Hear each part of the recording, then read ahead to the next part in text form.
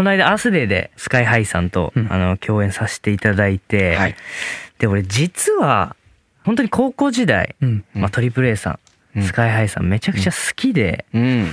あのよく聞いてたんですよ。うんでこの間実際にお会いしたじゃないですか。そうね。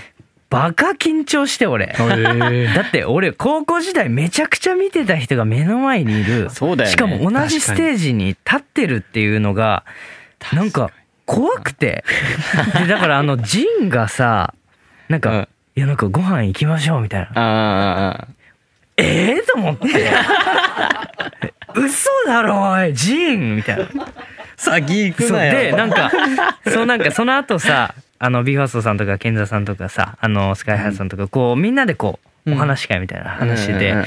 スカイハイさんもあの本当に優しく話しかけてくださったんだけど、うん。バカ人見知り発動して俺、だってその人が目の前で 話しかけてきてくれてるみたいな、うん。であめちゃくちゃかっこよかったです。あありがとうございます。よろしくお願いしますみたいになっちゃってもうなんかうまく話せなくて、うん。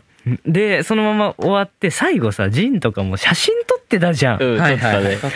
羨ましいと思いながら で俺行こうと思ったんだけどマジで勇気出なくて、うん。はいはいはい。なんかもうダメだっつって終わっちゃったからあら。次ねもしお会いする機会あったらちょっとね頑張って行こうかなと思うんですけど。いきなりいきなり絶対行った方がいいはい。めちゃでめちゃいい可愛いエピソードだね